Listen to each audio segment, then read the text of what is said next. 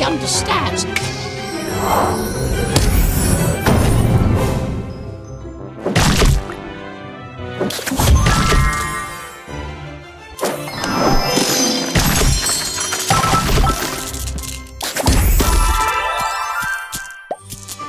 That's better, isn't it?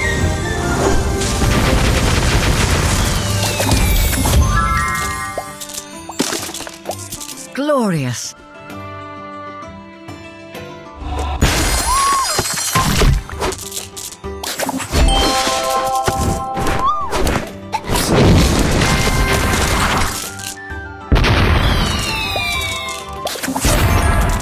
Glorious.